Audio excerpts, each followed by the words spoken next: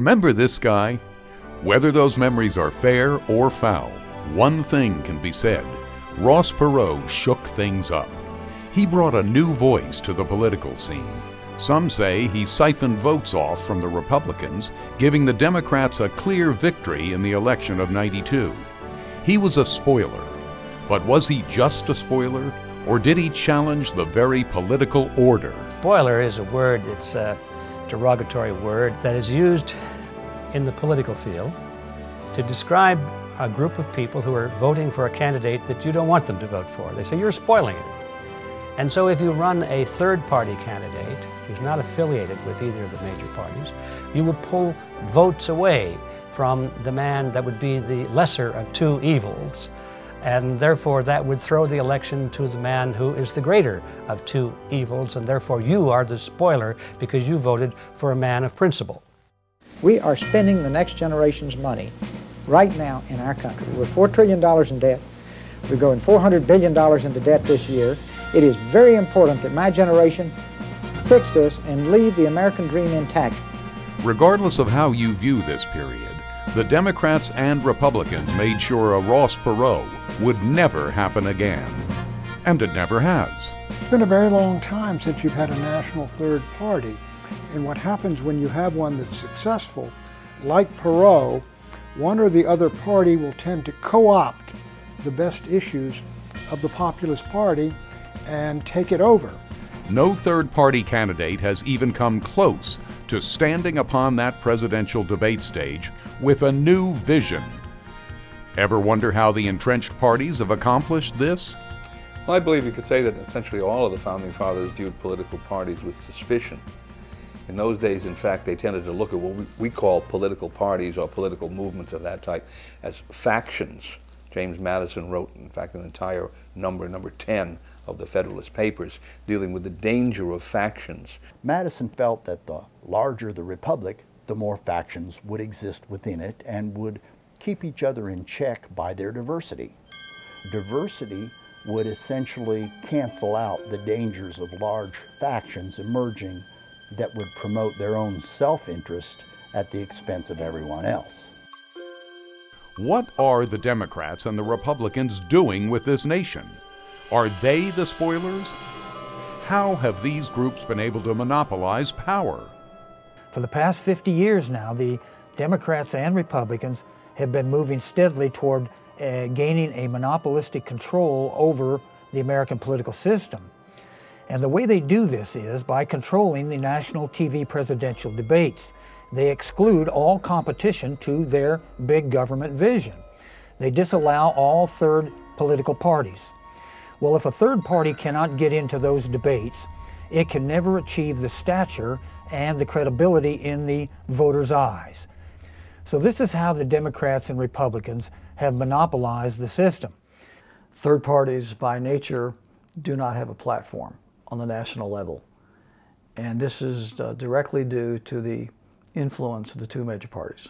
Most Americans have resigned themselves to the idea that they will have either a Democrat or Republican in the White House.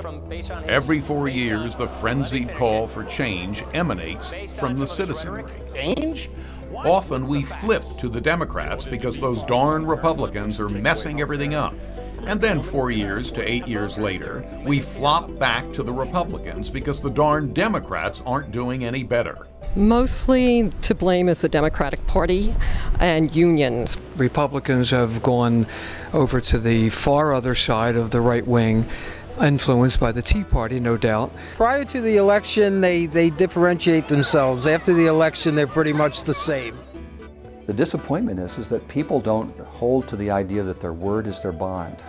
That if you say something, you become morally obliged to fulfill it. All sorts of promises, changes for the better. Sometimes just change and not even define. They're saying anything but this, we want change. Each major party promises change, promises smaller government, promises more efficient government. Nevertheless, the government does not become more efficient and it does not become smaller. Instead, it grows larger and larger, consuming ever greater shares of GDP, ever greater shares of our productivity, while demanding even more taxes to pay for it all. Pocketbook issues drive elections. People are doing well. They don't care if there's corruption in the government, if they're feeling financial pain.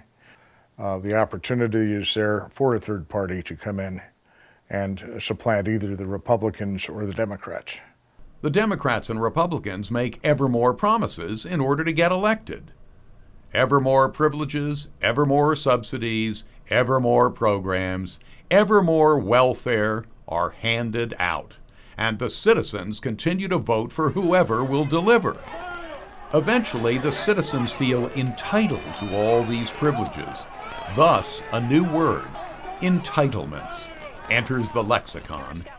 Well, when any uh, country or government tries to pass out endless subsidies and handouts to its people, uh, it goes bankrupt and usually collapses into some form of a dictatorship shortly thereafter. Uh, you're going to see things get much worse in the future if we don't change political directions uh, today. You're going to see more and more oppressive taxes. You're going to see uh, more and more inflationary booms and busts, perhaps uh, even a catastrophic economic collapse, uh, more government regimentation and regulation of our lives. Any country that tries to pass out endless subsidies and welfare and entitlements to its people must self-destruct. Eventually, citizens feel they are not just entitled to privileges, that privileges are a right. Thus, new rights enter the lexicon. Rights that are in clear conflict with the very Constitution that gave birth to the U.S. Republic. The concept of welfare has within it the implication of charity. We're doing this because we want to do it, because we're good people because we have a big heart and we care about people. That's the welfare concept. The other concept, entitlements, has the ring of right to it. We have a right to this. We have a right to a job. We have a right to free medical care. We have a right to housing. We have a right to a decent diet. It's our right. It's though it's written into the Constitution. So it's more of an attitude of, of justification. Why are we doing this? One is because we're doing it uh, to be charitable, but it adds up to the same thing. It's the transfer of wealth from uh, one group of people to another. And generally, the people who are receiving the transfer are the ones that are more politically powerful. Before long, taxes aren't enough to pay for all the privileges, entitlements, and new rights. The government must start printing money. And it does, courtesy of the Federal Reserve System and the elite bankers who have been granted the special privilege of counterfeiting money. I consider the Federal Reserve Act and the creation of the Federal Reserve as being unconstitutional. It gave uh, the government then uh, the power to create legal tender out of thin air, that is, to create paper money. And although they didn't do that overnight, between 1913 and 1971, that is exactly what happened. And I think subtly, they sort of like it. You know, they like it because, you know, I don't have to raise taxes and somehow or another these bills get paid not understanding that when you dilute the value of money, it's really an immoral, deceitful tax on the people. But it will come to an end. If you study monetary history throughout thousands of years, you will find out that paper money has been tried many, many times and it never succeeds. It always ends badly. And as the printing and taxing escalates, the value of the dollar goes down and the productivity of the citizens is suppressed by an ever increasing burden of debt and loss of purchasing power. The U.S. citizens become strapped to a European style treadmill in order to pay for all the privileges they feel they are entitled to. Uh, they get into a treadmill because everything that they produce from the sweat of their brow and the creativity of their minds and hands, uh, that's all uh, taken away from them by a collectivist system no matter how hard they run, they don't get anywhere because all the surplus of their labor is taken away from them. So that leads to, to, despair. And they think, what's the point of trying? What's the point of putting in that little extra effort? I'm not going to gain by it anyway. And this is the, the core, I believe, of the failure of all collectivist systems. They kind of just run down. And many Americans are trying to get us on a European treadmill that will keep us running harder and harder to pay more and more taxes for more and more benefits, many of which we really don't need. Personal freedom means that we have the ability to say, what do I want to do with my own income? And that's why a smaller government a more restrictive taxation scale is the ideal for many who understand the history of how taxation ultimately takes away freedom. All this continues no matter which political party is in power. It continues because those who work in government benefit. They benefit because they get to be the middleman in the gargantuan welfare state we're collectively creating. Like government, middlemen don't add value, they just collect fees between buyers and sellers, between consumers and producers. In short, they are administrative parasites. The U.S. government, in order to provide entitlements that certain people demand, is now little more than a multi trillion dollar parasite on an otherwise free market economy. Well, the free market is the economic system of free people. And it's important because, first, it's consistent with human freedom and secondly, it is the most efficient and effective distributor of goods that is known to man. And third, inevitably, where there isn't genuine free market uh, of a moral people and a virtuous people, and results in a rising prosperity for all. Generally, the federal government is not a good operator of businesses, actually a very lousy operator of businesses. You look at uh, Amtrak, the post office, and and such as, as, as examples. Um, as a result, uh, generally the less involvement there is by the federal government and, and the private enterprise sector, the better. Though the Democrats and Republicans promise change, the parasite never goes away. It only gets bigger. Nothing changes we continue our relentless march from the limited republic envisioned by the founders to the global monstrosity we now have threatening every corner of the planet. Limited government is absolutely essential, and the founding fathers were very uh, impressed with that idea. Uh, the opposite of limited government, of course, is total government. Uh, you can call it what you want. You can call it totalitarianism, you can call it uh, dictatorship, you can call it uh, vicious monarchy or, or whatever. And so the founding fathers of our country didn't want the government to be able to do whatever it wanted. They wanted strictly defined powers, and that's what they gave us in the Constitution. The founding fathers had looked uh, particularly to history. They were great historians of political movements and political structures. And that was their one fear. They said, well, every one of these systems that didn't have built into it a system of checks and balances eventually deteriorated into some kind of tyranny. No matter which party is in power, nothing seems to spoil the relentless expansion of government. The welfare warfare state continues to grow. The statist agenda continues to spoil the republic Ben Franklin and the founders established.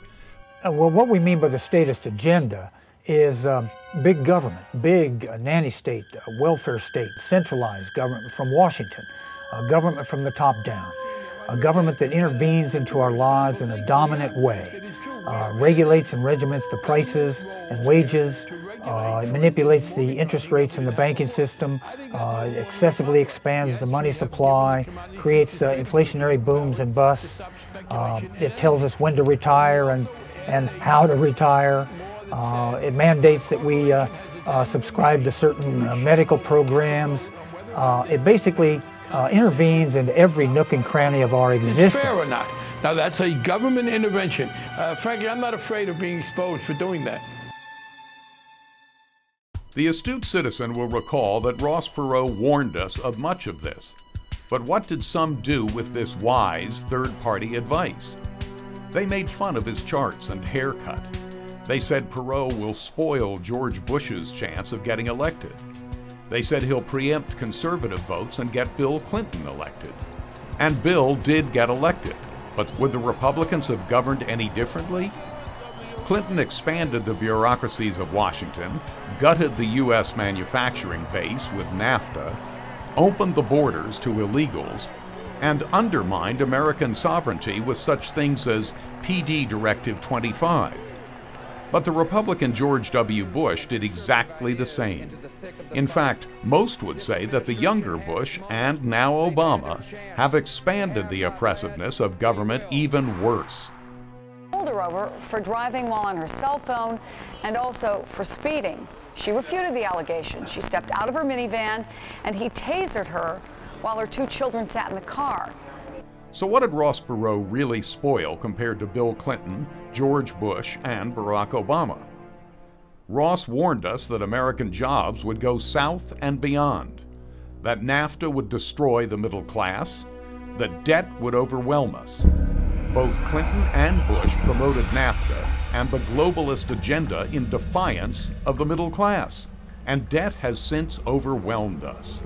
Ross warned us of the Flint Michigans and Roger Smiths that would come, but who listened? Ross Perot was spoiling the multinationals' party. The argument that's always made by people against third party involvement, alternative party involvement, is well, you're simply going to be a spoiler because you'll have this effect. But of course, that isn't true in the long run because if you look, I think the Democratic Party probably in this country does go very far back. Republican Party started when 18, 1850s. So the Republican Party initially was a spoiler party, if you will. So it really depends on events whether a party or a political movement will turn out to be a spoiler as opposed to being successful. The, the term spoiler, I think it's overplayed. Thus, no matter which party is in power, American citizens end up paying the bill. They always get the short end of the stick, whether it's higher taxes or fewer jobs, less purchasing power or more regulations. We, the people, are getting screwed. Who benefits? Always the middleman, the state. Even though the philosophy put forward by statists is that all these entitlements are for the greater good. There are people who see themselves as not winners and who see themselves as being able to benefit from political action and government favoritism, and they support candidates who will basically favor their industries or their cause. And the politicians who do that are benefited by those individuals at election time by votes and money. Uh, so what you have is a growing system of entitlements for various constituencies uh, given to them by politicians in return for their votes. Uh, it's a trade-off of economic benefit for one and power for the other. The power groups and ignorant citizens that keep the Democrats and Republicans in power do so in order to maintain the status quo of the welfare state. No matter which decade, each entrenched party promises change, yet delivers more and more special privileges. Special privileges violate uh, individual rights in numerous ways. Uh, uh, let's say the government that wants to convey uh, the privilege of a subsidy to a corporation or to a farmer or a low-income earner. It has to first confiscate that uh, uh, money from the productive citizen. And in the process of the confiscation, it violates his rights to um, his property, which is what his income is. And it also violates his rights to equality under the law because it has to use a progressive rate tax system to do that. Uh, the government also uh, has to violate rights when it uh, conveys an affirmative action quota to a minority group. It has to violate the majority's uh, rights to their freedom of association. It also violates the consumer's uh, right to trade freely when it conveys a price support system to, let's say, the oil companies provides a floor under which the oil prices will not go, it violates the consumer's rights to trade freely. So just about every government intervention into the economy, it has to violate the rights of someone somewhere. And with such handouts come regulations and more and more state oppression. This modus operandi is in direct conflict with the vision of the Founding Fathers. I mean, that's the number of papers they added just last year. This pile of regulations, more than 80,000 pages, is just what the federal government imposed on us. States and towns added even more. The Constitution of the United States was never intended to provide privileges but to protect its citizens. It wasn't until 80 or 100 years later when the concept of collectivism began to infect the American shores. It came over from Europe, came from France, came from Germany, the ideas of Karl Marx and, and Frederick Engels. And it sort of began to seep into the American political scene little by little. So that today, uh, most Americans are thinking first not about being protected by their government, but being taken care of by their government. the vision upon which the U.S. was established is a vision that the government is there to protect liberty, not provide privileges. Uh, what is happening is a free, democratic, self reliant people are being converted basically into children of the state. Government is supposed to be large enough to provide those necessities the free market cannot, and protect our liberty, property, and lives. Somewhere in the past 100 years, we have gone off the rails. The philosophic views held by most Americans today have changed, given they tolerate such a government. Philosophy asks all the big questions of our existence. Uh, the philosophers ask questions like what is truth? Uh, what is justice? Uh, um, what is a proper political system? And uh, what is proper interaction of uh, human beings in society? What questions philosophers ask and how they answer them largely affects what kind of cultures and what kind of political systems will evolve in the ensuing uh, decades and centuries. Uh, the American Republic did not just spring full blown in 1776. It had its origins 100 years prior uh, with John Locke. His contractual theories of government, his ideas on individualism, uh, these all laid the philosophical groundwork for 100 years later uh, when Jefferson and the founders launched the American Republic and wrote the Constitution. And these ideas also laid the groundwork for the culture of the 19th century. We have gone from a nation that has replaced love with tolerance and strong individuals with dependent weaklings. We've gone from a nation of people that forged quality products in the competition of a free market to a nation of people increasingly reliant on government handouts and imports. We have gone from a free market capitalist nation to a nanny state, a nation of people who acknowledged God given rights, to a nation of people obsessed with state doled privileges. Certain things that people strive for and need to live by are gifts from God, such as life, liberty, and the pursuit of real ultimate happiness, the right to property, these ideas our founders said were not given by a government. They are what we possess by simply being alive in God's world. And so our founders called them inalienable rights. Alienable means they come from another. Inalien means I can't give away my rights. No one can give them to me. I simply have them because I am a person in God's world, in God's image.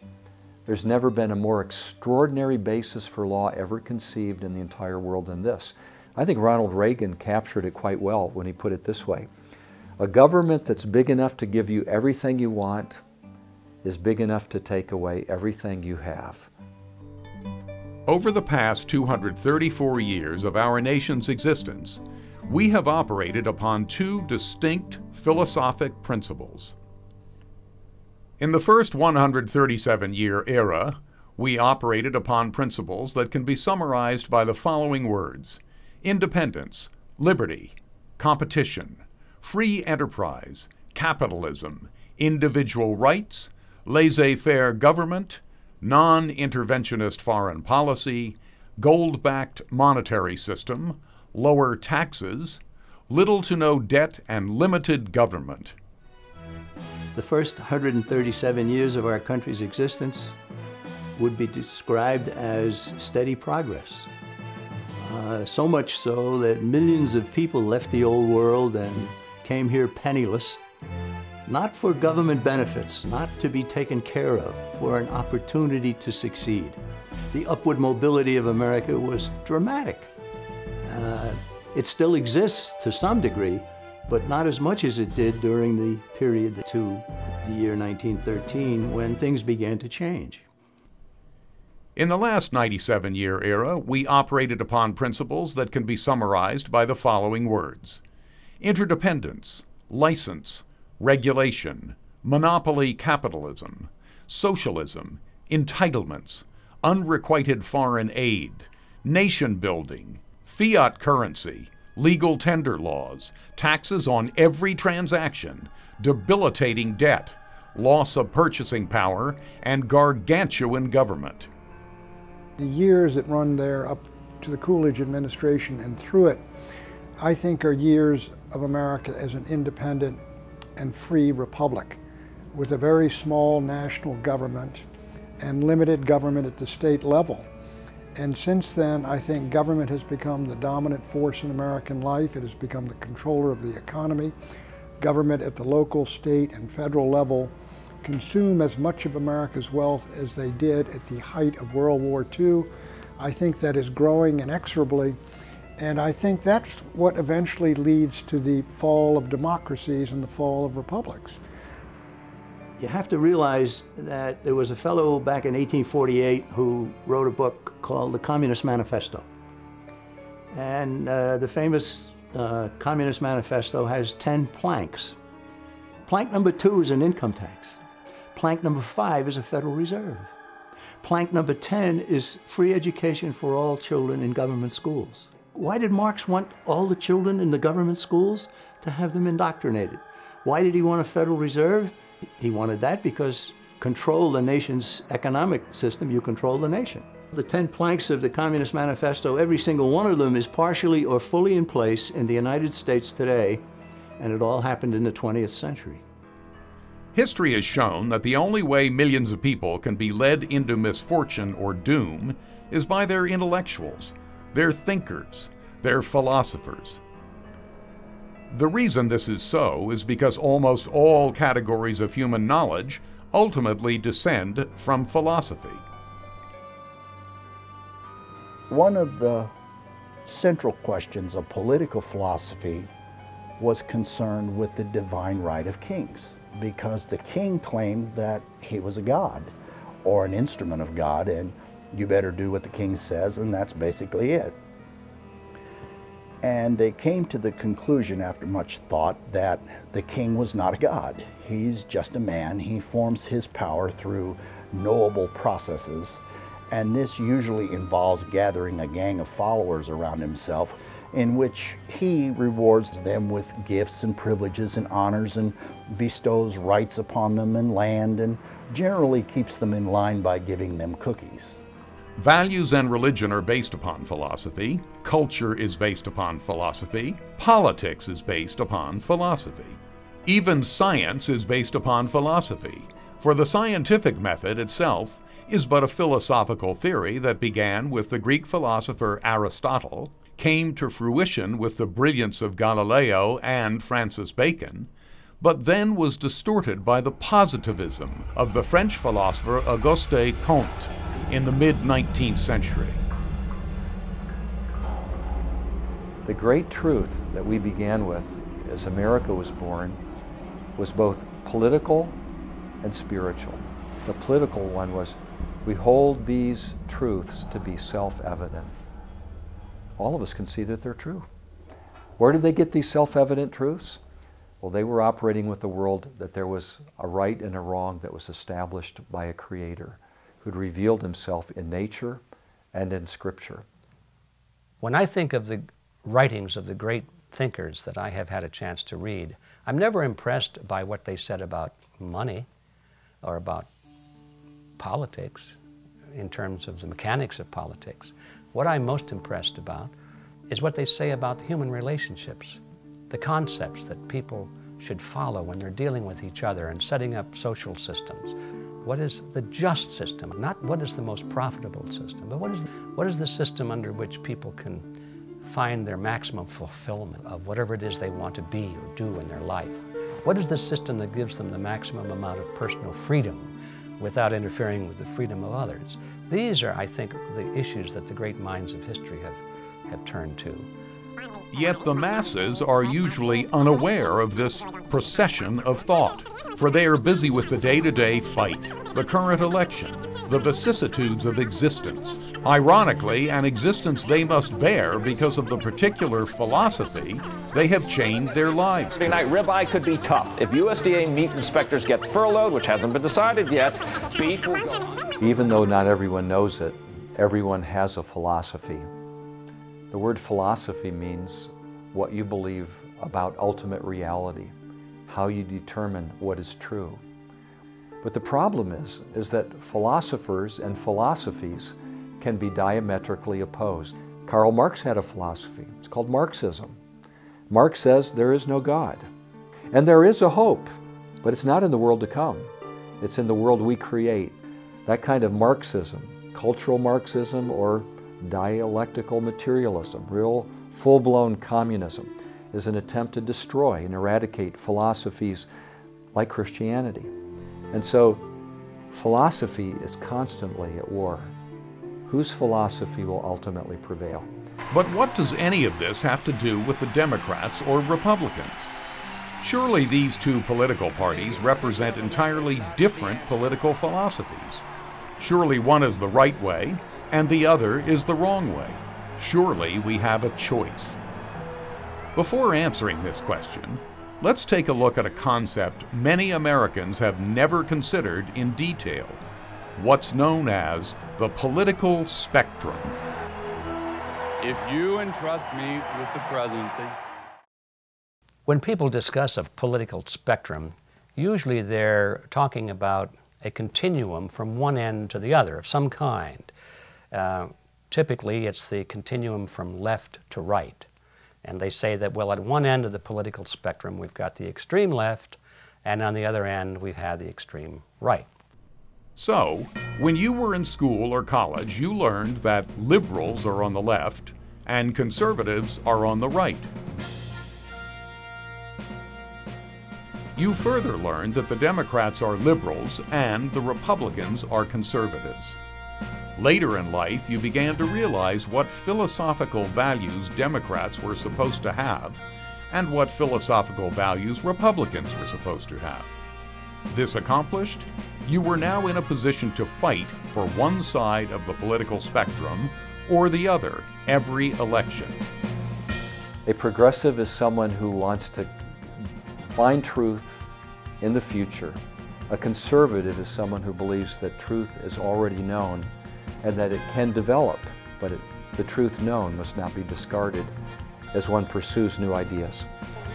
On the surface, both choices sound great. No wonder Americans campaign so vigorously for the Democrats or the Republicans every election. No wonder America is so dynamic and free. Or is it? The Democratic and Republican parties have been, for some time now, two wings of the same bird of prey. Uh, they both have uh, battened on federal programs and transfers of wealth and power to various corporations and institutions and individuals. And uh, neither, I think, has really been the conservative party that both of them were in the 19th century in a way. What do you think of the Democrat and Republican parties? I'm going to pass, actually. Thank you. Yeah, not a member of either. I don't. Yeah. Makes no difference which political party is in power. The major objectives continue to be the same. We continue to, to support the banking system. We continue to support a fiat money system. We don't question the power of the banking cartel called the Federal Reserve System. We continue to turn our sovereignty over to international agencies. We're doing our best to get rid of American currency, to get to establish a, a global currency. We're creating a, a North American Union to merge the United States with Mexico and Canada. These are the big issues, and they're not even discussed. The two parties are very close together. We should have other and alternatives. We're allowed to have them, but the rules are so biased you can't get on ballots and you can't get in debates. And so therefore you're excluded unless you're a billionaire. Both parties always push to expand government so that it can assist their agenda. Oh, the Republicans promise to reduce government. But once in office, they do just what the Democrats do. As Stanton Evans once observed, conservatives come to Washington knowing it's a sewer, but they always end up treating it like a hot tub. Once they go to Washington, um, like I said, they get into somebody's pocket. Uh, they always cross over the aisle and uh, join with the Democrats and hop into that hot tub and start passing out the pork and privilege. And the reason why they do this is because our tax system in America is terribly warped. The progressive rate tax system uh, allows for 50% of the American voters uh, to pay zero taxes or next to zero taxes. And this allows them to get their government services for free or next to free. And this has created what is called, in economic jargon, infinite demand for government services. Uh, this is basic human nature. It's a cardinal law of economics. If government benefits are free or nearly free, demand for them will be infinite. Thus, by design or circumstance, the two political parties end up producing the same results the expansion of the state. And this expansion is caused and justified by the misguided philosophy that social programs and regulation provide benefits to society with no downside. At the end of the day, both parties, Democrat and Republican, strive toward authoritarian rule over the government of the people in the same way monarchs and their gaggle of devout followers strive to control the people of their kingdoms. Same for military dictatorships and autocrats and for ayatollahs issuing fatwas to the people from their theocratic ivory towers. Both Democrats and Republicans are trying to do exactly the same thing, establish themselves as the supreme authoritarians over government of the people. We have been indoctrinated by the ideas of certain prominent philosophers over the past 200 years. The three most important being Jean Jacques Rousseau and his idea that the general will of society must be absolute in determining what government is to do. Auguste Comte and his idea that man's highest moral purpose is to altruistically sacrifice himself for humanity and Karl Marx and his idea that the workers of the world should unite against capitalism. All three of these ideas are false, yet they are subscribed to subconsciously by both Democrats and Republicans today. Jean Jacques Rousseau, uh, the uh, 18th century French philosopher, uh, his chief corrupting idea would be his general will theory, in which he maintained that the general will of society must be absolute in determining what kind of a political system we are to have. So this conflicts directly with what the Founding Fathers advocated. They certainly did not want a democracy. They wanted a limited constitutional government. And they certainly did not want an absolute democracy. Auguste Comte uh, was another uh, French philosopher, mid-19th century. Uh, his chief corrupting idea would have to be uh, altruism, uh, in which he maintained that uh, man's highest moral purpose is to always sacrifice his interests and his rights to humanity or to the group or to the collective. This was perverted into by the politicians into meaning uh, uh, the state or the government.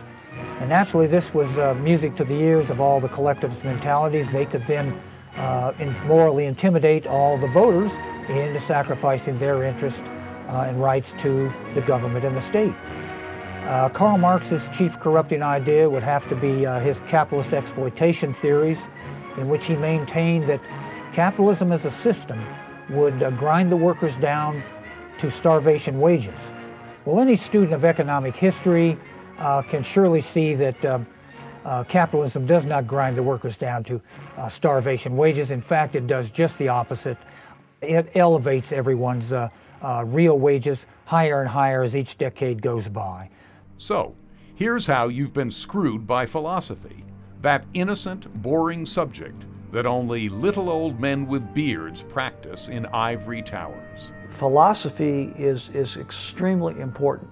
Nowadays, uh, higher education, for example, uh, has turned out uh, generations of young people that have repudiated the, the quote unquote antiquated ideas of our founding fathers and, and religion and God and the Bible and Christianity. And now we're enlightened and, and, and we're progressive. And, and basically, what that means is we've adopted uh, Marxist slash socialist slash fascist ideology and we've repudiated the fundamental ideology upon which America was founded. And that's the dichotomy that's going on in America today.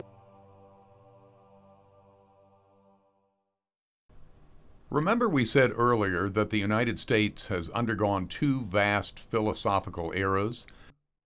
Well, let's name those eras.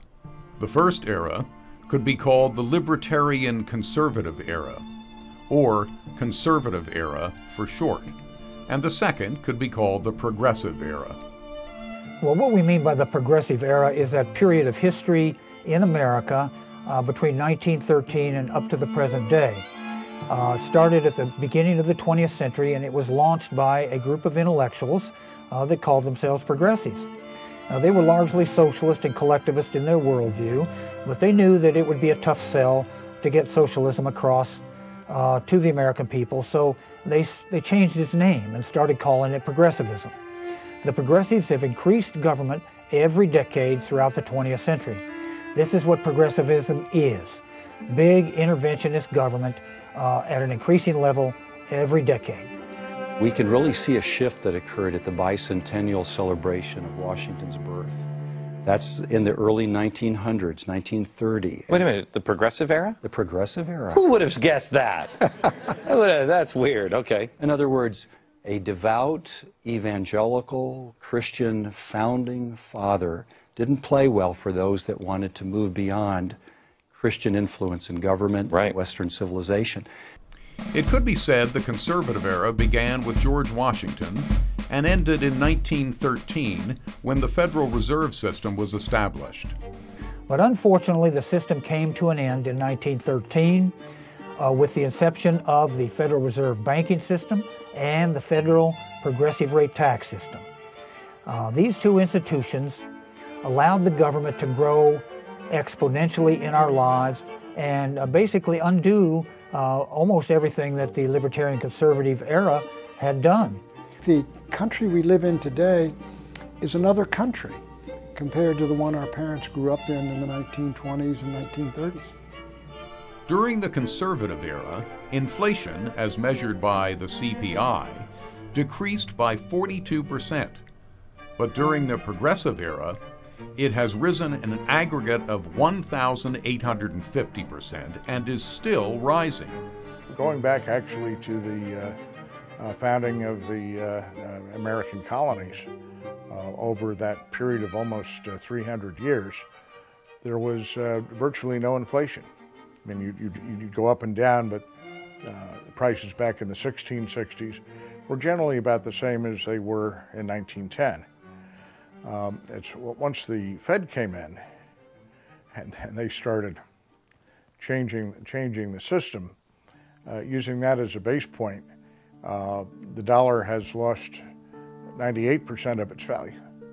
Uh, it's, of its purchasing power.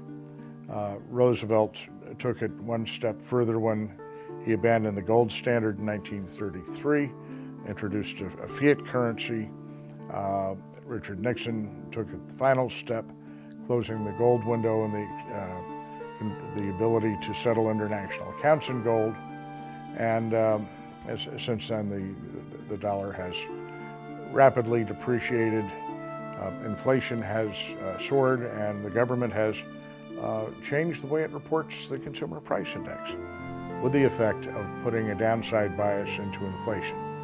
During the conservative era, the United States had a true annual growth rate of about 4%. During the progressive era, the growth rate is claimed to be 4%, but this is an illusory figure.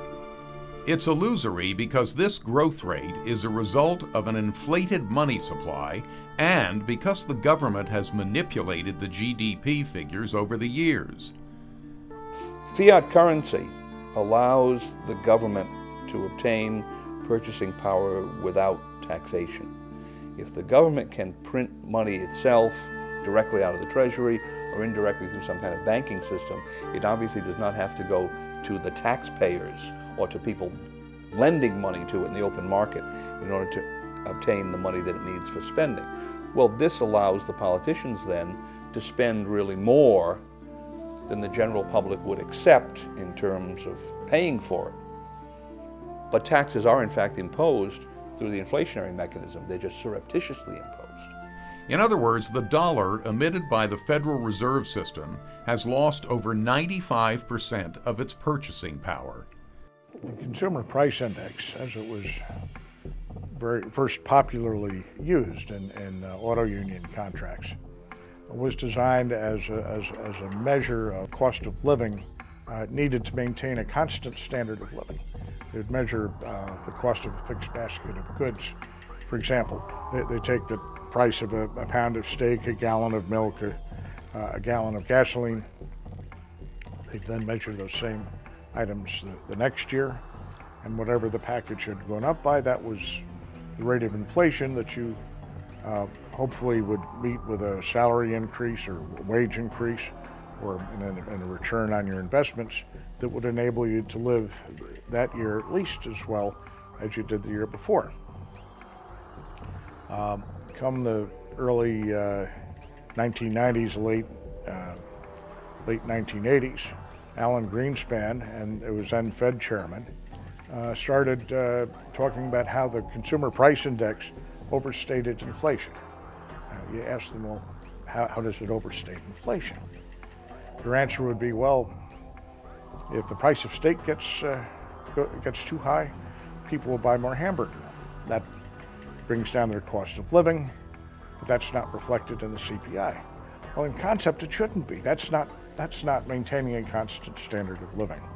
Very openly, they wanted to help bring down the budget deficit, and that was, uh, the, the idea was that if they could reduce the level of inflation being reported in the CPI, they could reduce the uh, cost of living adjustments to Social Security payments, for example low middle income people, poor people. I think it especially hits hard low middle income people who are trying to make it on their own and won't go on the dole because their prices go up more and they're the first ones to lose their job when the business cycle turns down. Uh, the Federal Reserve, by increasing the credit, creates the boom part of the cycle, but then there's always the resulting uh, downturn uh, of the cycle when uh, un unemployment rises. And I, I remember clearly in, 19, in the 1970s, uh, that uh, phenomenon that seemed to baffle the economists at that time, but not the Austrian economists, not uh, Mises and, and, and Rothbard, because uh, at that time the economy turned down. We had a weak economy and prices were going up. So they had to come up with this new term. Oh, we have stagflation. I wonder where it came from. Uh, inflation measure no longer measures uh, the cost of maintaining a, a constant standard of living. And the effect is that had these changes not been made, Social Security checks would be about double what they are today. So they, for political reasons on both sides of the aisle, nobody wanted to vote against Social Security. Nobody will talk about uh, bringing Social Security under control. They changed the uh, inflation reporting. And that's the way this place operates. During the conservative era, real wages rose, while during the progressive era, real wages have been almost flat since 1972. Average earnings peaked uh, back in 1973, before the onset of the 73 75 recession. Never recovered since, still down about 10% year over year.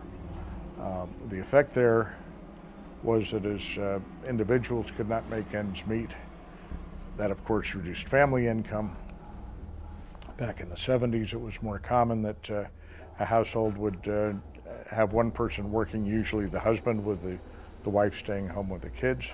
Today, normally you have at least two people working uh, in a family, but the families are still not making uh, ends, ends meet. I hate this house and I don't want to be here anymore. The political philosophers who engineered the progressive era redefined the economic political spectrum. They did this by placing communism on the far left and fascism on the far right. Generally, they say that on the extreme left of the political spectrum, there's communism. And on the other side, there's the extreme right is supposed to be Nazism or fascism and so forth. After many years of thinking about that and observing it, I came suddenly to the conclusion one day that there's no difference between the extreme right and the extreme left. They both are philosophies based on the concept of collectivism, the concept that the state is all powerful. But since both communism and fascism are dictatorships, any voter trying to steer a rational, moderate course would naturally assume he wanted to be equal distant from these two extremes, in the middle of the spectrum. But what does the person in the middle believe? Usually he doesn't believe in anything, and so he's chosen to say, I'm a moderate, I'm in the middle, because he's not prepared to defend what he believes. So it's the easy way out. I'm in the middle. Who can argue with that? But guess what is now in the middle of this contrived spectrum? welfarism. This spectrum makes welfarism look like a moderate position because it's been fudged in between capitalism and socialism. Socialism defined as a milder form of communism, and capitalism defined as a milder form of fascism. So we come back to the question of a political spectrum. It's kind of misleading, especially today in this country. We're being given this false choice of left and right in American politics. We're being told that on the right we've got the Republican Party and on the left we've got the Democrat Party. So which side are you going to be on? The real political spectrum is a spectrum that describes the size of the government, not the type of government. I don't think it can be anything other than a spectrum that goes from zero government on one side to 100% government on the other. Now, if you're on the zero side, you've got anarchy, you've got no government. The other side of the political spectrum would be 100% government. Communism, socialism, fascism, Nazism, princes, potentates, dictators, kings, whatever. If it's total government, that's the left. The right, anarchy. So what that's the political spectrum as it should be taught. It's not being taught that way. The real political spectrum does not concern itself with what's liberal or what's conservative, as these terms are relative to viewpoint, hence not objective. What one person wants to liberally change, the next wants to conservatively keep. So the politically correct spectrum is meaningless for the citizen that's looking for objective truth. Today, the political spectrum is communism is on the left and Nazism and fascism are on the right, which is ridiculous. If there were ever any blood brothers, it would be fascism, communism, Nazism. They're all blood brothers. So, what's the proper? Limited self government, where the government is limited by law, a republic, and the people are limited by freely accepted moral codes like the Ten Commandments. Since both fascism and communism are dictatorships, they both require governments of immense size to operate. Many laws and regulations are required to keep the citizens in line. There really isn't a lot of philosophical, let's go back to that word, philosophical difference between the two major parties. They both want to grow the federal government. I, have often said the difference between the Republicans and the Democrats at the national level is the Democrats want to tax and spend, and the Republicans want to borrow and spend.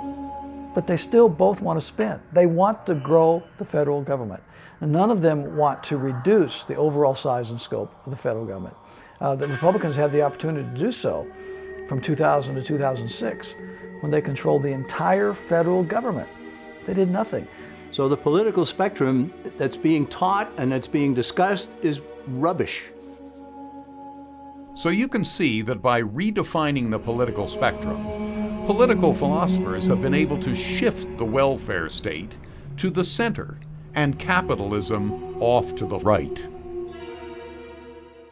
With the welfare state fudged into the center of the spectrum, modern political philosophers have been able to morally justify the endless expansion of government for the purpose of providing welfare for the common good.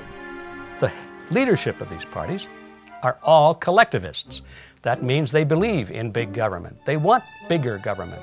It gives more power to themselves and to their cronies.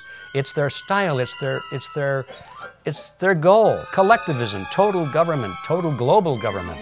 They call it the New World Order. That's their phrase for it. They're in love with government. They dream of more and more power for government. They dream of themselves in these positions of power, ruling the lives of the, of the people of the world. That's why we keep having more government, because we keep following the same leaders.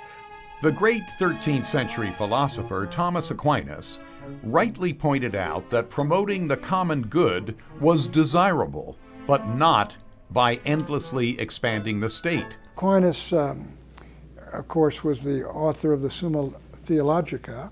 He's the angelic doctor of the Catholic faith, and he's a great teacher of natural law. And he argued and contended that charitable giving was good for the giver and, of course, good for the recipient, good for the soul. What has happened is, in America and in other welfare states, the government comes in and replaces the individual and tries to reap the benefit from the recipient and become the author of all charity. And to get the benefit of that, the politicians uh, vote enormous amounts of wealth and money and transfer it from one people to another. And uh, in that way, they can get the benefit of their vote. So something that was voluntary and individual and positive turns into something that is coercive.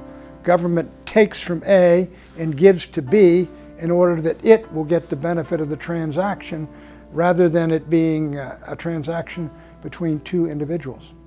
But some insist what's wrong with a strong, beneficent state, as Jean Jacques Rousseau might say? What's wrong with altruism, as Auguste Comte might say? What's wrong with a classless, egalitarian society, as Karl Marx might say?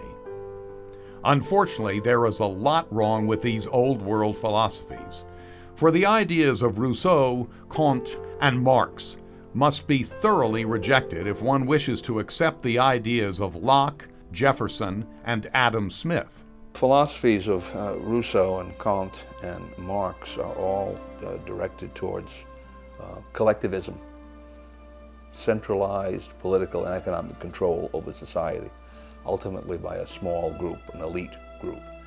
Uh, obviously, on the other side, the philosophies of the founding fathers in the United States were based on the opposite concept, concept of individualism. Uh, they recognize that a governmental structure is necessary, but that governmental structure has to be strictly controlled for the benefit of, as it were, the average man, the common, common individual. We the people, as the Constitution says. Where the Marxian view or the, the positivist view, Comte was really a, a positivist socialist. Uh, they look at it from top-down organization. There's an elite of wise men who are going to determine everything for everyone else. And that type of a system is based uh, essentially on a coercive model of society, a hierarchical, pyramidal model of society, where power flows up and commands flow down, and the further you get from the top, the more you're subject to control. Whereas our system of government, essentially the other way around, real sovereignty and power supposed to lie in the hands of the people at the bottom of the pyramid as opposed to the small number of people at the top in the state governments or the uh, federal government, government in Washington, D.C.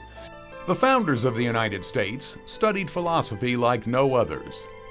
They were aware of the effects of various political philosophies, from Plato to Aristotle, to Cicero, Aquinas, and Machiavelli to Locke.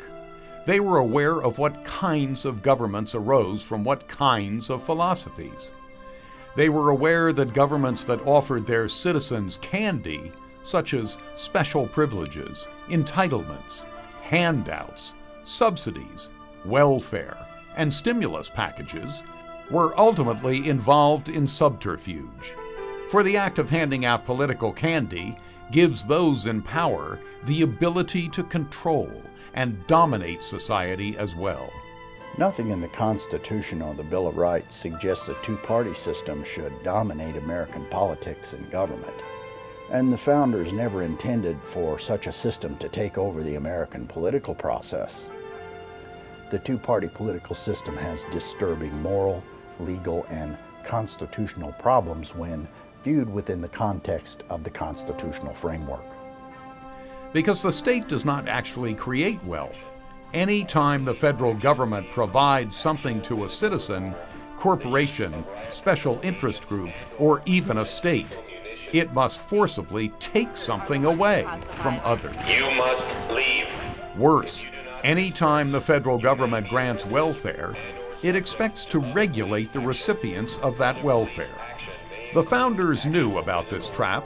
They knew that cries for altruism and the greatest good were ways that governments had justified their expansion and subjugation of the people for centuries. Well, to justify their expansion, governments almost always uh, use the false ideas of the prominent intellectuals of their day. Uh, let me give you a, an example. Back in the 1930s, uh, we were afflicted uh, with the Great Depression, and naturally everyone was looking around to see if they could figure out what had caused it.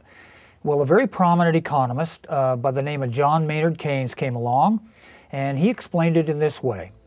Uh, capitalism had reached its mature stage and uh, could no longer generate enough demand in order to be workable.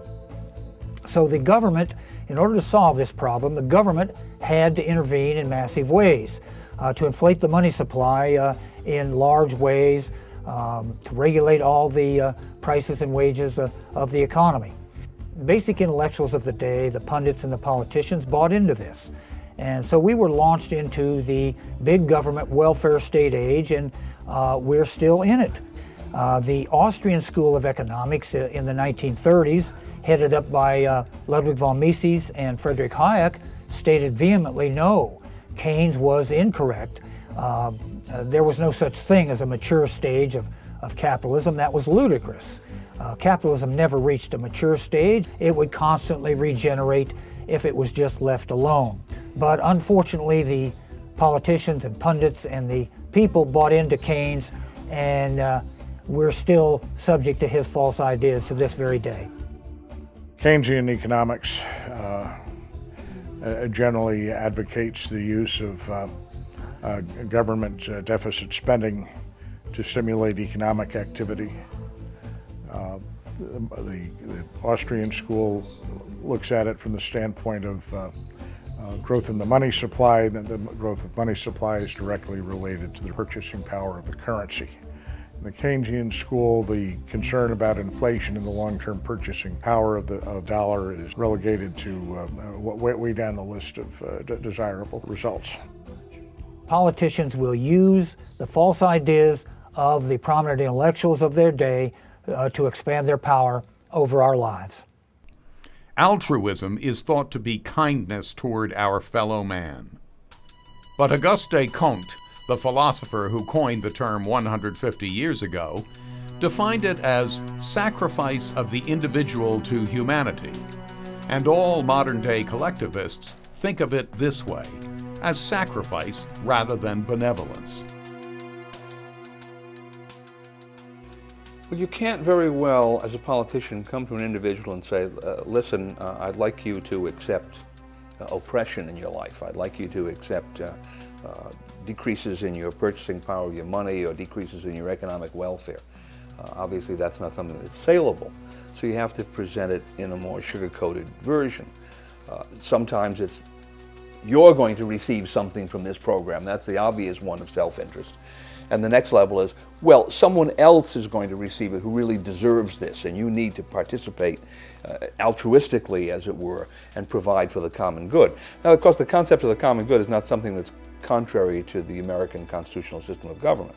One of the principles of the preamble is the general welfare, which is another way of stating the common good. But it's a concept that can easily be abused because it's fairly abstract and most people don't really ask to see what is as it were, the mechanistic connection between some program that a politician wants to put in and how they and everyone else may benefit from this program. This is why the United States was designed to be a republic, based on a limited government and not a democracy subject to mob dictating entitlements. Given this, a limited Republican government would be the golden mean, such found at the center of the real political spectrum along with its natural analog of free market capitalism. But is this the way it is today? Hardly. And the reason for this is because for the past 97 years, the American people have been flip flopping between the same two political parties. Parties that are now using an old world strategy to stay in power, buying votes with endless welfare candy, well, the old world strategy is what drove so many people to cross the ocean and come here go through Ellis Island and become, uh, become Americans. Uh, the old world strategy was to uh, dole out entitlements and uh, of course it, it stifled industry, it stifled the ability of people to uh, uh, keep the fruits of their labor. the old world strategy is what was rejected by our founding fathers and they gave us a limited government, free society. And many of them left everything and came here. They came penniless. They saw their, their children rise to the next level, their grandchildren to another. They became professional people and artisans and so forth. America was a place where upward mobility could be accomplished, uh, much more so than anywhere else in the world.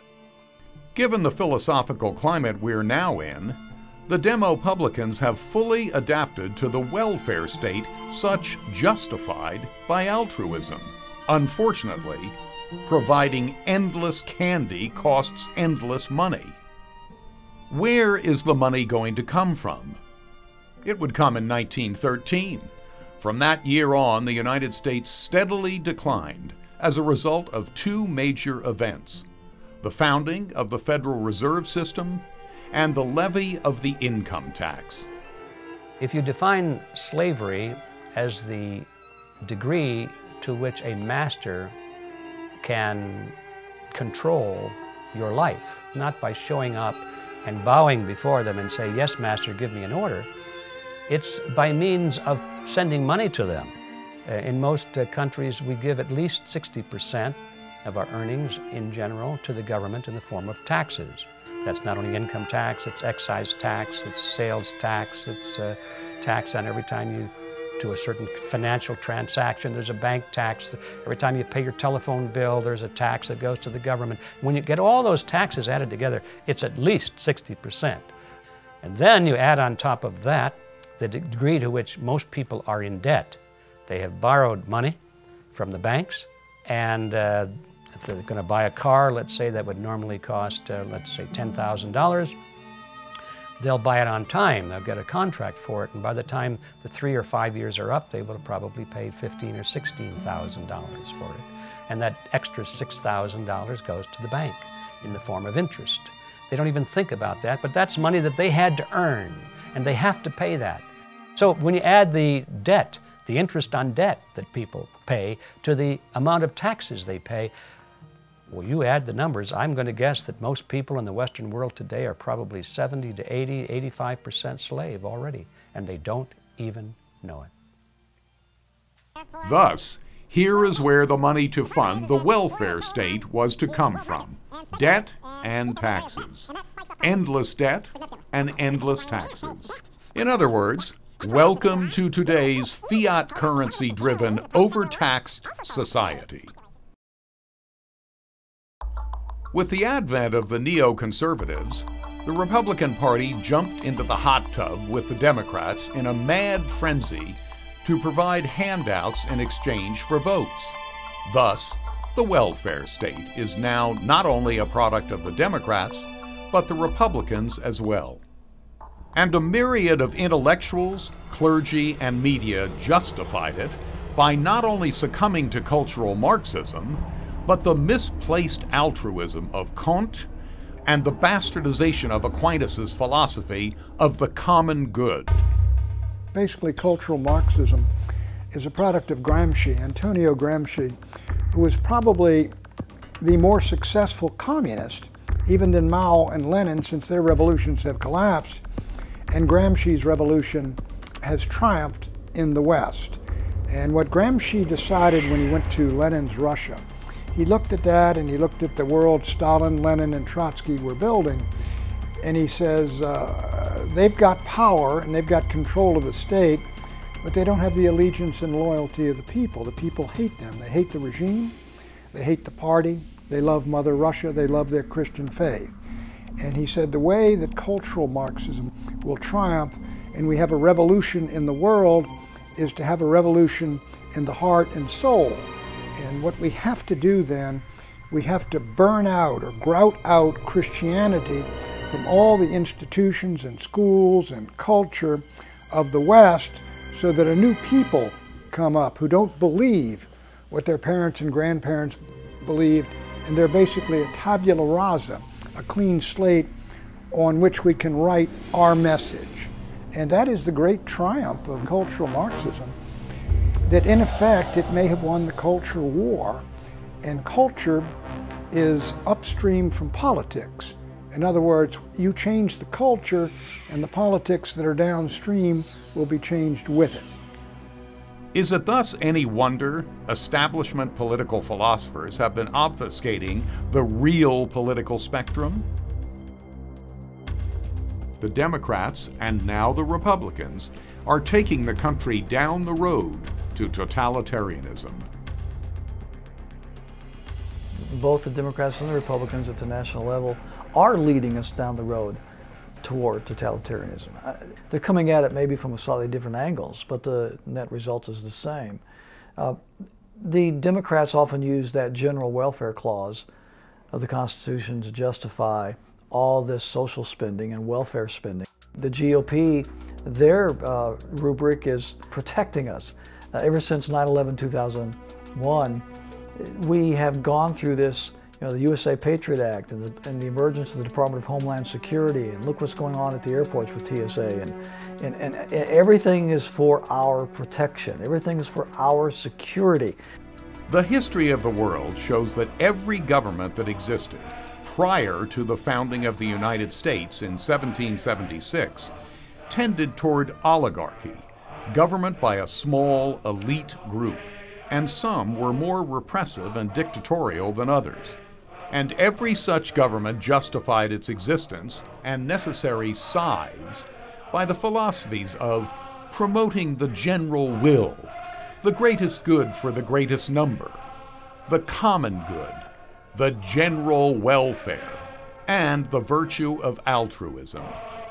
An oligarchy is a very few people at the top who have become dominant. Right?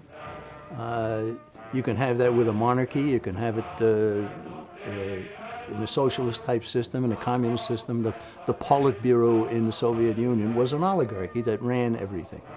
Uh, Mussolini in Italy, he had his own Politburo. Under him, Hitler, of course, had his small group that ruled. Here we're supposed to have self-rule. The people are supposed to rule themselves, and the government is supposed to be limited. The Constitution limiting the powers of government. I like to point to the Constitution, the very first sentence in it. All legislative powers herein granted are vested in Congress. But you've all heard that a Supreme Court decision is the law of the land, haven't you? Well, how can that be? Because all lawmaking power is in Congress. So what then is a Supreme Court decision? It's the law of the case. It's all wrong. Right? Now you got another branch of government, the executive branch. The executive branch, you'll find the, the president issuing executive orders. The Environmental Protection Agency was started by an executive order signed by Richard Nixon. It didn't even go through Congress. Right? So they're making law with executive orders. Is that proper? And I defy anybody to find education, housing, uh, transportation, energy, medicine, foreign aid. I defy anybody to find that in the Constitution. It's not there. So what we've got is a rule developing by a powerful few who set the tone, and most congressmen, most senators have as their main goal getting reelected. And so they will do what the oligarchy in the building wants. It, it's growing, right? The headquarters, we say, is at the Council on Foreign Relations in New York City a private organization started in 1921 to promote the idea of world government. Forget the Declaration of Independence, forget the Constitution. Let's have a world government run by us. In other words, the old world view of government. The new world view that existed in America for a brief period between 1776 and 1913 could be summed up by the term individualism. In a democracy, the majority rules, period. End of discussion. In a republic, the majority rules up to the point of taking away the rights of individuals. The majority, the mathematical concept of more votes, is fine so long as it's not taken to the point where it denies the inherent rights of individuals and minorities. So that guy who's at the end of the rope, his vote under those conditions is superior in a republic to all the votes of the people out there clamoring for his death. They've got to follow the rules, the constitutional rules. The Constitution in a republic sets down limitations on what the government can do. That means limitations on what the majority can do. Constitution Bill of Rights starts off with the, the government shall pass no law restricting the right of peaceful assembly, the right to bear arms, uh, all of these things. Not. Not if the majority says so. It says no law. Congress shall pass no law. That means the majority shall do nothing to deny a man's right, freedom of speech, peaceful assembly, right to bear arms, and all the rest of the, of the rights of human beings. And a very important concept. So, when collectivists say that um, individuals must be sacrificed for the greater good of the greater number, therein lies the foundation for tyranny.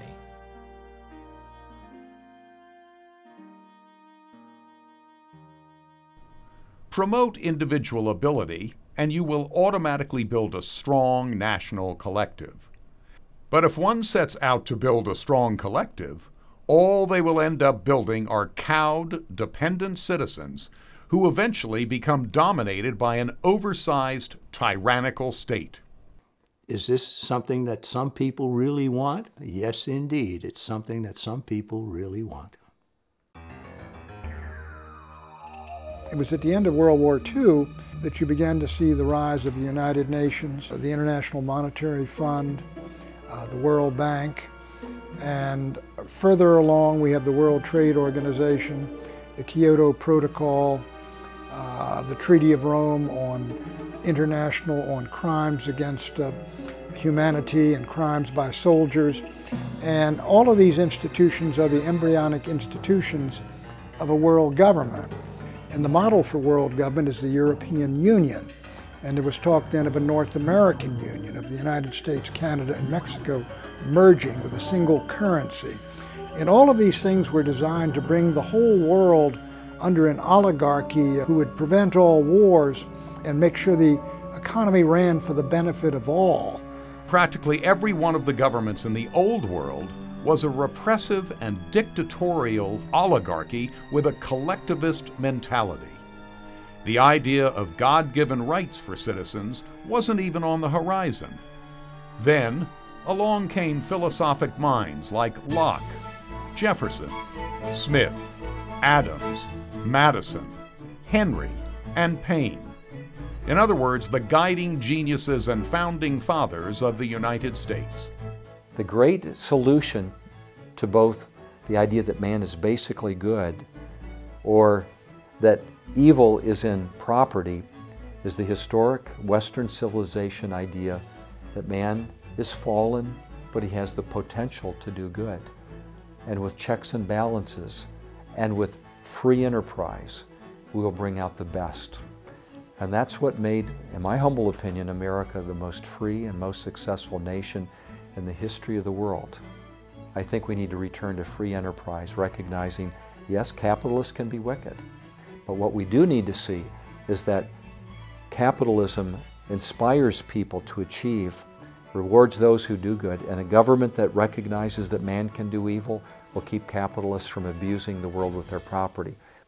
In doing those things, we're saying no to Rousseau, no to Marx, yes to the historic Judeo-Christian system envisioned by Christian philosophers like John Locke, Blackstone, and uh, others that had an idea that the scriptures give us guidance for our foundational principles.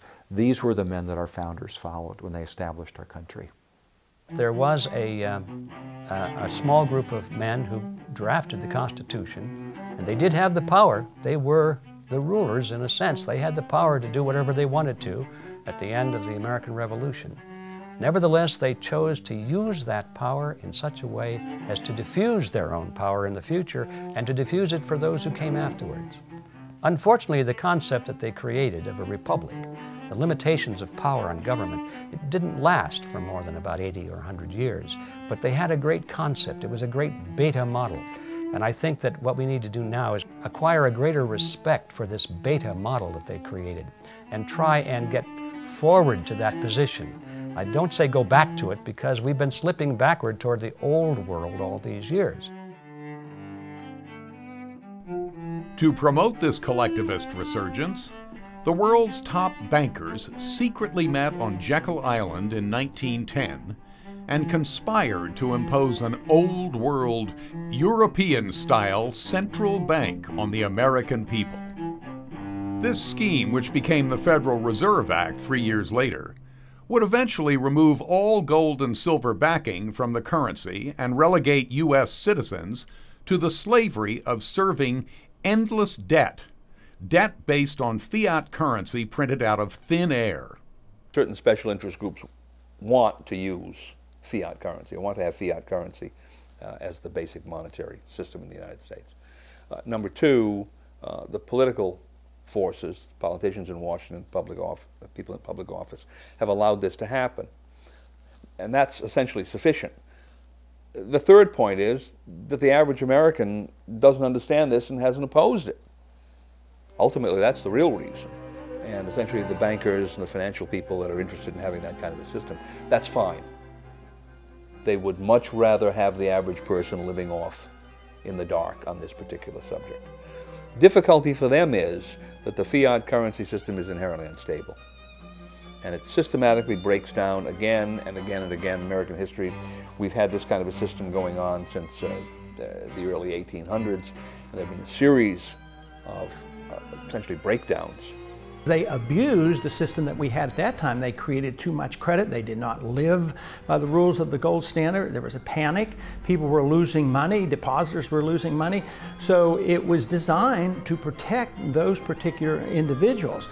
Uh, instead of, uh, of maintaining a currency and maintaining a sound currency, they were trying to protect uh, the special interest by bailing them out, and that is being able to create credit when they came up short of credit. So they were actually rejecting the marketplace, which uh, operates uh, to solve these kind of problems.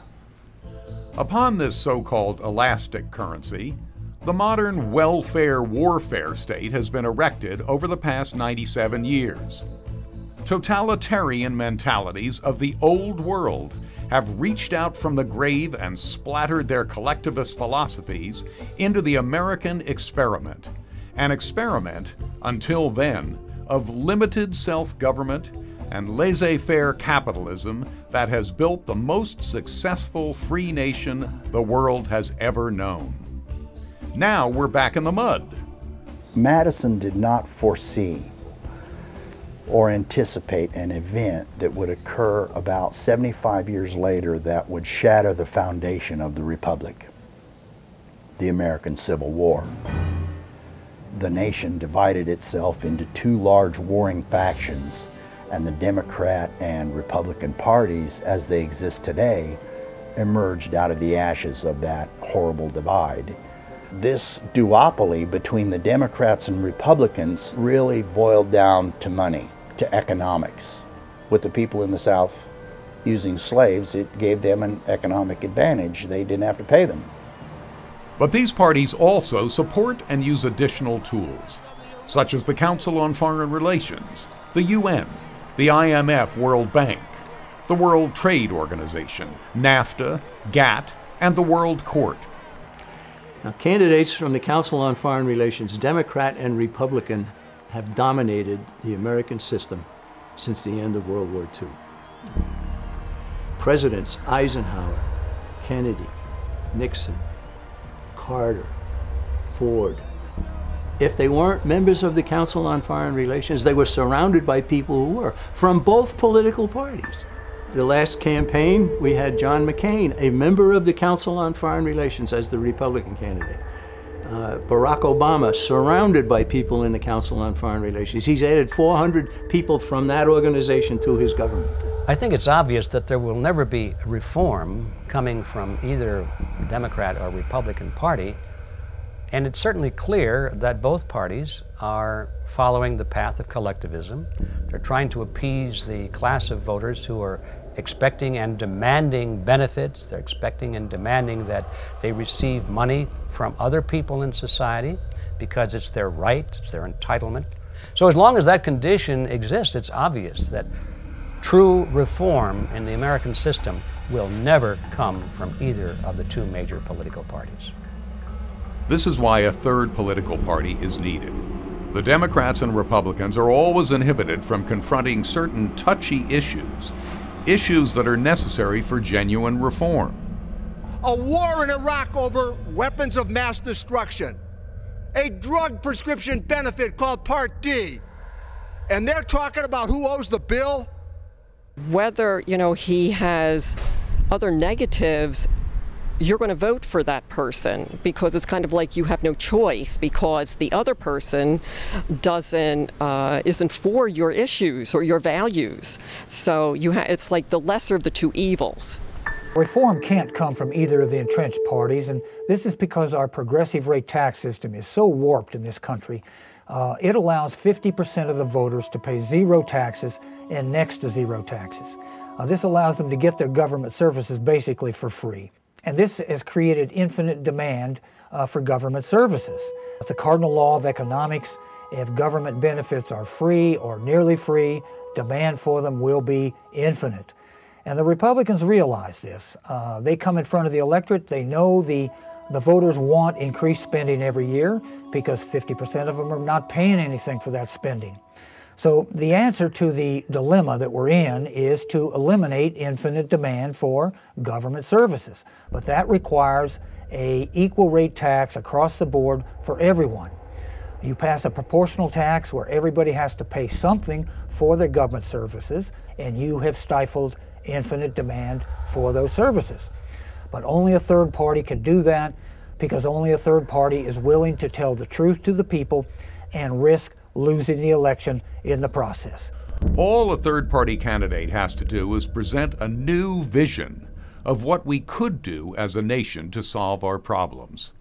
This new vision could stimulate some much needed change. Of course, to the extent that the two parties have to follow the same policy directives, there can never be change.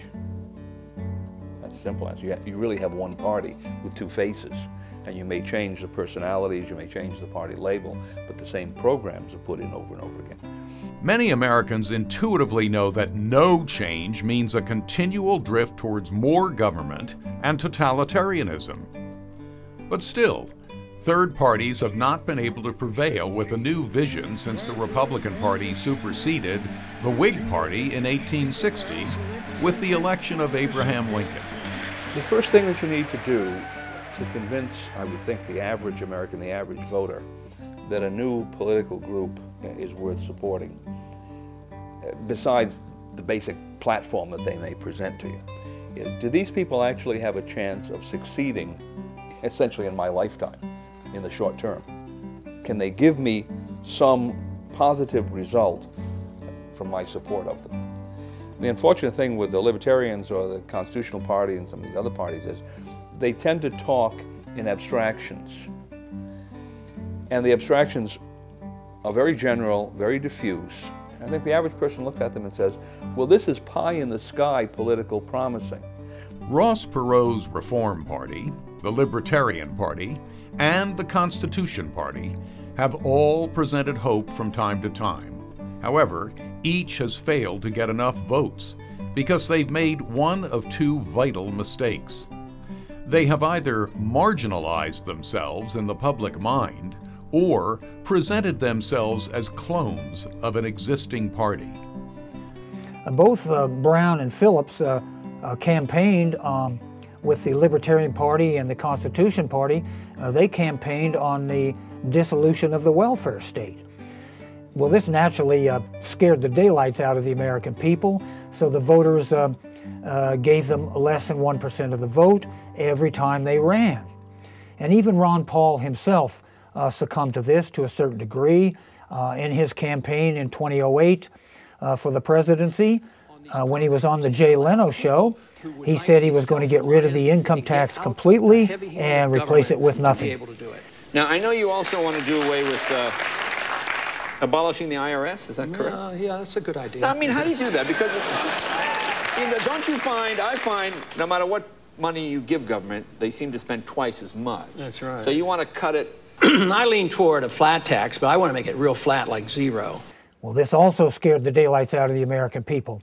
If you're going to eliminate the income tax and replace it with nothing, uh, the income tax took in $1.4 trillion in revenue in 2008. You've got to get rid of $1.4 trillion uh, in government services for the people. That scares the daylights out of them. Marginalization and cloning are the primary reasons no third political party has been successful in challenging the Demopublican monopoly. Though their vision may be correct, the public can't assimilate it. these parties have lost sight of the idea that politics is a game of incrementalism. The public subconsciously knows this, for it realizes that one can't just instantly abolish the income tax or the Federal Reserve System. If we didn't fuel the government with that kind of money created out of nothing, which of course is paid for through inflation, then they wouldn't have the money to even come close to making all of the welfare payments and obligations that they have undertaken. So if we got rid of the fiat money system, welfare would collapse. It would be impossible. In fact, most of what the government is spending would be impossible. Third parties thus marginalize themselves by expressing visions that seem too drastic or provide no incremental solutions. Thus, neither the Libertarian or Constitution Party has ever received more than 1% of the vote. Instead, they're considered fringe, utopians, and mostly ignored. This is what it means to be marginalized. What we mean by cloning is uh, when a third political party advocates uh, uh, pretty much the same message that the uh, uh, two major parties are uh, advocating. for example, back in the 1990s when Ross Perot formed the Reform Party, the Reform Party basically cloned itself to the Democrats and Republicans because it preached a big government vision that didn't differentiate itself in any discernible way from the welfare state vision of the Democrats and Republicans. So it cloned itself. And the people uh, reasoned that, well, do we really need a, we have two big government parties, do we need a third big government party? And they reasoned no. Uh, what we need is a small government party uh, that offers a small government vision to the people. Just cloning another political party is not going to be of much value, regardless of how you start out, regardless of what your, your stated principles are, regardless of what your platform is to start off, you have to look at the long view. Parties don't stay the same. They change. They change depending on who migrates into positions of power. They change on where the money comes from to support the party. And unless the party structure is, has a built-in mechanism to resist those kinds of corrupting influences, then I would say it would be just another clone job and probably would end up exactly in the hands of the same people who now run the Republican and the Democrat Party. Because of its desire to immediately win the presidency, the Reform Party, for instance, became too similar to the Democrats and Republicans. While a Libertarian Party advocates too much radicalness, a Reform Party advocates no radicalness. What a third party candidate has to do is uh, advocate policy that is just radical enough to differentiate itself from the Republicans and the Democrats, but not so radical that it marginalizes itself like the Libertarian Party and the Constitution Party have done. Not only does an existing or new third party have to avoid marginalization and cloning, it has to address vital issues, not just popcorn issues that Democrats and Republicans bat back and forth all day long on national TV.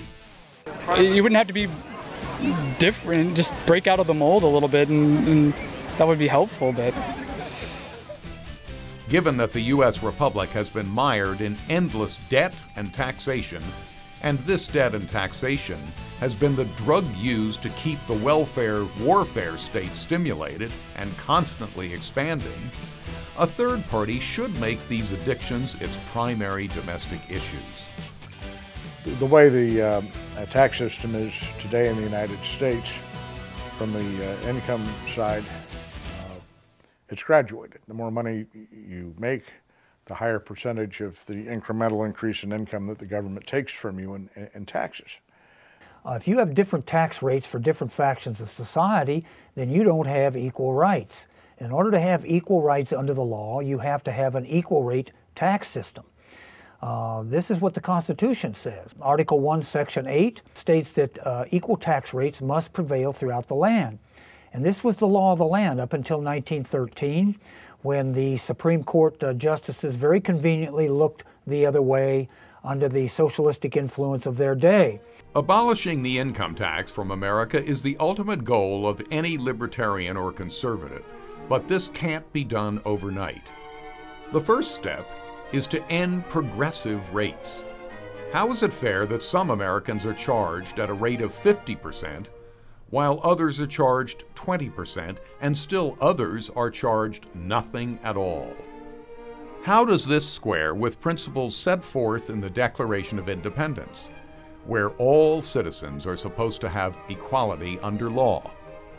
What we have done is we have allowed the blindfolded goddess of justice to lift the blindfold and peek.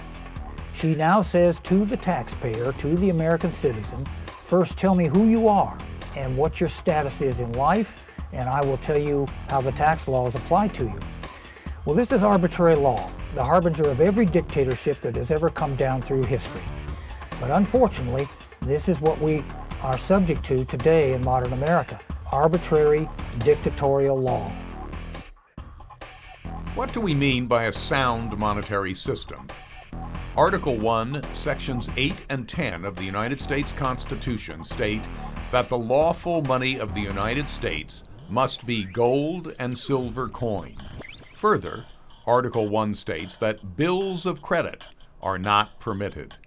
From 1913, when the Federal Reserve System was established, until the present day, the U.S. government and the elite bankers have partnered to create what's known as fiat money.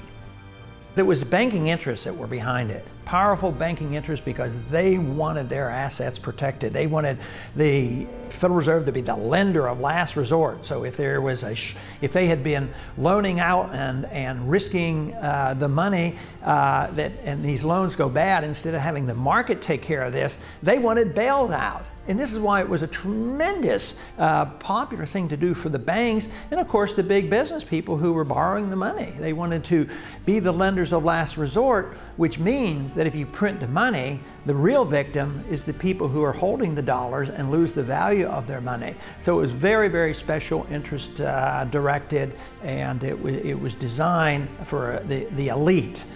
Today, the money of the United States in violation of the United States Constitution is nothing but paper and worthless metal tokens. The ability for a government to print money on demand and then lend it to the economy is like a heroin addict having the ability to acquire all the heroin he wants and injecting it into his brain. Eventually, the brain, like the government, is going to have a meltdown. This is not a very sound monetary system.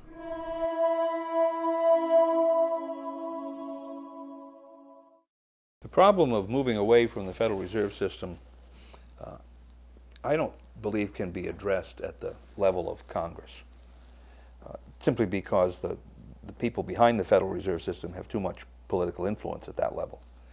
Uh, that's number one. Number two, uh, mechanistically speaking, you can't simply change the Federal Reserve System overnight because the whole economy in the United States is based upon Federal Reserve note as the currency, uh, bank credit, at least to industry, uh, that can't be uh, not merely changed or removed overnight. You have to produce something else to put in its place. At least the coins he was making had some intrinsic value. All right, and the Federal Reserve note is, is, is, is, isn't even worth the paper it's printed on, literally. Why wouldn't the government go after Ben yeah. Bernanke for being a domestic terrorist? Well, the, in actuality, our Federal Reserve notes are counterfeit. Today, there's no difference between the Federal Reserve notes that, that the Fed counterfeits or the ones that a, a criminal would counterfeit because neither one of them are backed by gold because a note has to be a promise to pay and the Federal Reserve notes don't pay anything. So what I would propose is that a state government sets up an alternative currency, starts using it itself, and you would quickly see that it would be used within the private economy of that state. And then that alternative currency would compete against Federal Reserve notes.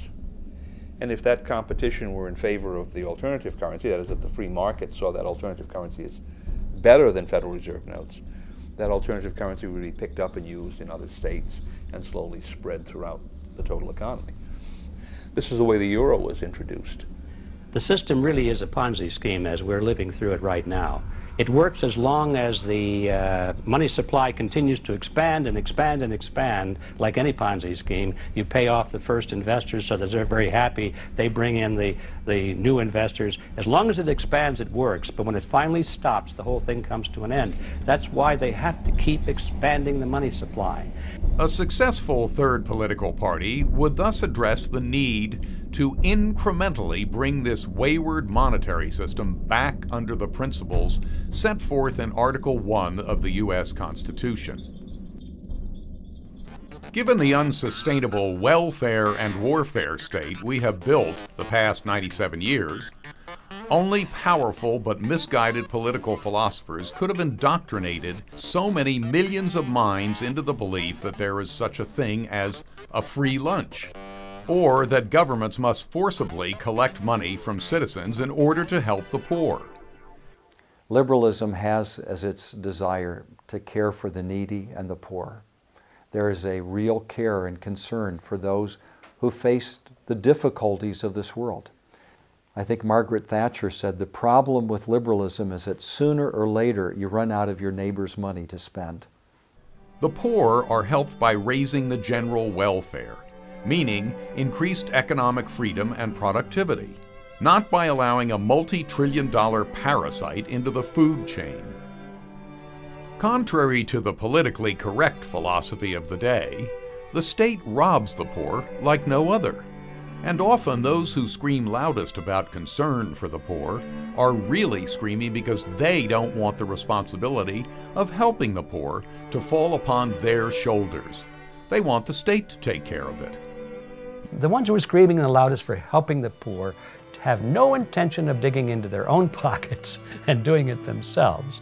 They want to set in motion a political structure that will do it and that they intend to benefit from being a part of that political structure. So what the government has done is supplant private individuals and private charities and churches and having done so, it has benefited enormously, at least the party, political parties that have done that. Now, and then you couple that with the rules and the regulations, the stipulations, the requirements that go along with the quote, the gift. The idea that Christians especially would accept this concept of, of government charity, I, I think shows a great naivete on their part. Unfortunately, the valid doctrine handed down by Aquinas that we should provide for the common good has been hijacked and perverted by the state and the collectivist mentalities that surround it like so many flies around cotton candy. For those who really want to help the poor, and the middle class for that matter, the progressive era and the Keynesian welfare state are no answers. Keynes, when he wrote his general theory, uh, which is a famous work that he did, in the German version of this, in the preface, he makes a statement that his theory would be much more easily applied in Germany than it would be in England at the time. Well, who was in control of Germany at the time that Keynes wrote that book? It was Adolf Hitler. Right? Even Keynes recognized that his theory was one that was much more easily applied by a centralized, uh, coercive, totalitarian type regime than a free market oriented, individualist, limited government regime. Now, the Austrian economic system, Austrian economists come at it from an entirely different perspective. Uh, they analyze the economy from the basis of the individual on up, uh, recognizing the necessity for limited government, recognizing the necessity for free markets, recognizing the necessity for sound money as opposed to fiat currency or managed currency. And the question, uh, you know, which one is uh, going to succeed? Well, I think to be realistic, the Austrian one is the only one that can succeed because it's the only one that's really realistic. John Maynard Keynes is the author of the attitude that you can spend your way into prosperity. No. You can't spend your way into prosperity. As the founders well knew, the cry of altruism is one of the grand justifiers collectivists and totalitarians have used for millennia.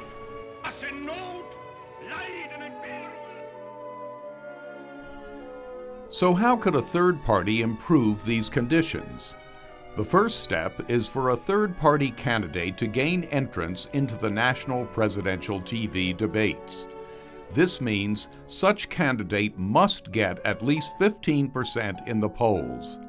Accomplishing this will give the third party the ability to address 70 million voters, where the obtuseness and corruption of the Democrats and Republicans can be challenged. We have a strange situation because we have a process in Washington where after you've served for a while, you cash in, become a foreign lobbyist, make $30,000 a month, then take a leave, work on presidential campaigns, make sure you got good contacts, and then go back out. We don't want a system of uh, essentially monopoly or oligopoly control for political parties. We want a system of free and open competition.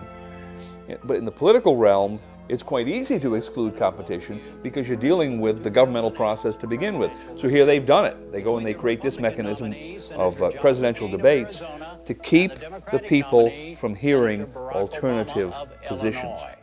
The Commission on Presidential Debates is the sponsor of this event and the three other presidential and vice presidential debates coming in October. The Commission on Presidential Debates is about as phony as you can imagine. It is completely dominated by the two major political parties. As we welcome Senators Obama and McCain.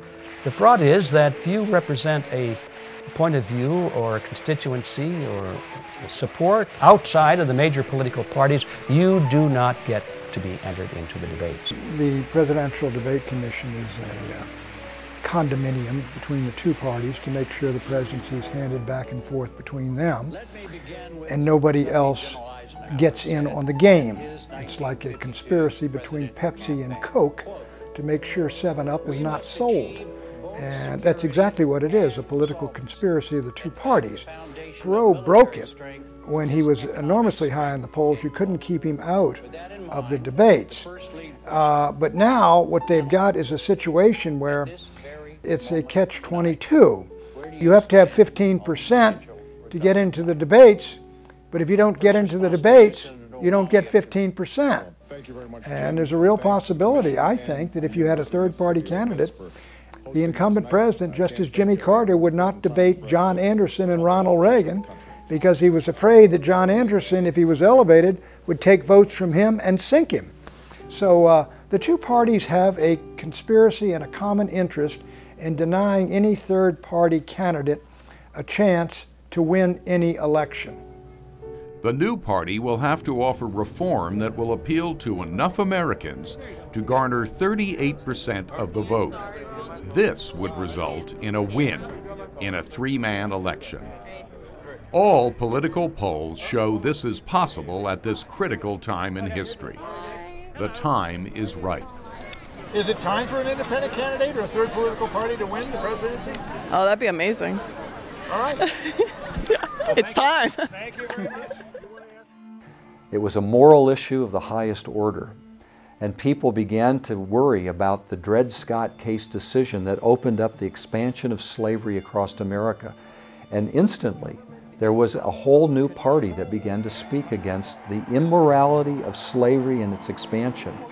And it created a new movement that brought ultimately Lincoln to the prominence in the election. Uh, that shows us that there is the possibility that there are moral cases or national cases of such interest that it galvanizes the people and they will rise up and say, if an existing party is not addressing this well, we will address it and we will bring attention to it. Restricting the ballot to two parties yields up First Amendment problems, antitrust problems, and separation of powers problems, all of which, when taken as a whole, create a system that is operating in violation of well-established law and constitutional prescriptions against what they are doing or attempting to do. I am honored to be here with Barack Obama. I am absolutely honored. For the first time in polling history, the Democrats and Republicans each get only about 30% of the vote, with 40% going to independents. These independents, combined with millions of Tea Party voters, could easily give a third party candidate 38% of the vote, especially if the new party ran a nationally known candidate possessed with some serious gravitas, and such candidate addressed the following demands. 1. Americans want the income tax made simple and uniform. This uh, entails uh, enacting a 10% equal rate tax across the board for everyone. Uh, no privileges, no deductions, no exemptions for anybody. Two, Americans want the Federal Reserve tamed. This entails enacting Milton Friedman's 4% auto expansion plan for the Federal Reserve, which will mandate by law that the Federal Reserve can uh, expand the money supply no faster than 4% every year. This will bring a monetary expansion into alignment with the growth of goods and services. And this will result in a 0% price inflation every year. Now the combine of these two, these first two pillars of reform will bring about a tremendous explosion in economic growth and wealth uh, creation for everybody. Three, they want illegal aliens to stop invading the U.S. This entails mandating English as the official language of America. It also entails prohibiting all welfare perks and anchor baby rights for illegal immigrants and prosecuting all employers who hire illegal immigrants with a stiff fine and a jail sentence if necessary. Uh, this would uh, reduce the illegal immigrant invasion to a mere trickle. And four, they want to restore a mind our own business foreign policy. We stop trying to be the policeman for the world. We get back to what the Founding Fathers had in mind, which is protection of the nation's security and survival. And we don't need 820 bases in 135 countries throughout the world to do that. Thus, a third party candidate who ran vigorously on those four planks would not only be able to make it into the presidential TV debates, but win on election day. We've shipped millions of jobs overseas. If you just want to get down to brass tacks, first thing you ought to do is get all these folks who've got these one-way trade agreements that we've negotiated over the years and say, fellas, we'll take the same deal we gave you. And they'll gridlock right at that point because, for example, we've got international competitors who simply could not unload their cars off the ships if they had to comply, you see, if it was a two-way street, just couldn't do it. Pretty simple. If you're paying $12, $13, $14 an hour for factory workers, and you can move your factory south of the border, pay a dollar an hour for labor, have no health care, have no environmental controls, no pollution controls, and no retirement, and you don't care about anything but making money, there will be a giant sucking sound going south. Unfortunately, some will continue to feel that such a candidate will split the Republican vote and assure a victory for the Democrats. Well, even if this happens, so what? Fed up Americans and Tea Party activists will continue to be voted into the House and the Senate, as has been happening for the past two years. This will create a gridlock between Congress and the President. Thus, even if a Democrat does get into the White House, he will not be effective. He will not be able to implement any more socialist programs. So again, what does it matter who of the entrenched are in the White House? It will be impossible for an independent candidate to be a spoiler because there will be nothing to spoil. I believe that if another political party were formed based on the same structure, as the existing two major political parties, or either even the existing alternative political parties, there would be nothing to prevent it in time from being corrupted by the influx of people who want to steer it in another direction, or the people with a lot of money who could literally take it over through financial influence.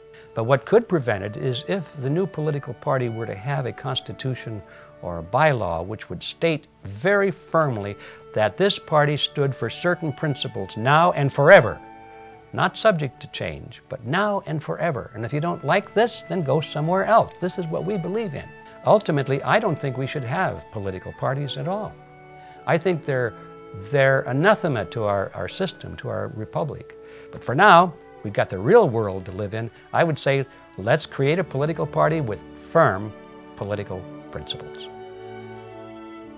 The American people are fed up with big, demopublican government, its amassing of endless debt, its confiscation of middle class wealth, its refusal to check the invasion of illegal immigrants, and its perpetual entanglements in foreign affairs.